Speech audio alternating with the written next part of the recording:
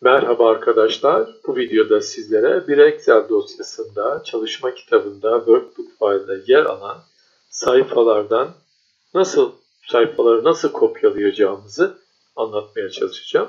Var olan bir sayfayı e, açıyoruz. Herhangi bir sayfa olabilir veya kendi çalışma egzersiz dosyalarımızdan uygun olan bu.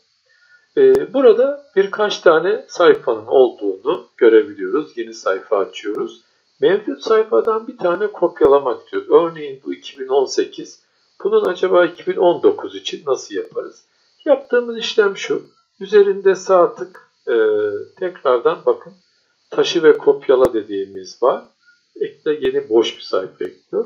Taşı kopyalaya geldik. Move or copy yazıyor.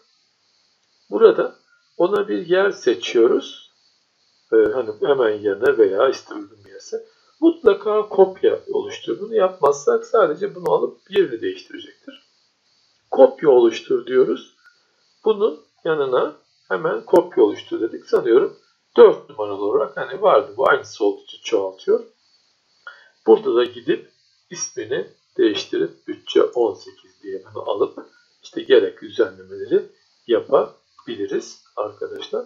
Bunu yapmanın kısa yolu da şu. Kontrolle beraber mouse'la çektiğinizde hemen onu sürükleyecektir ve çoğaltacaktır. Aynı şekilde e, yeni başka isim e, verilebilecektir.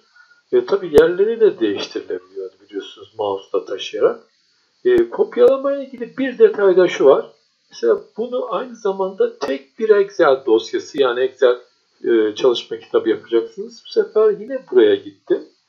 Kopya oluştura mutlaka basıyorum. Bakın burada da e, bir başka dosyaya kopyalamak gibi bir şey söz konusu. Aynı zamanda yeni kitap var. Yani e, New Workbook seçeneği. Buraya bastığımızda burada bir şey olmuyor. Bakın yeni bir Excel, tek bir sheet'te yeni bir Excel dosyası kaydedip e, kullanabilirsiniz. Eskisinde hiç, eskisindeki bütün özellikler duruyor.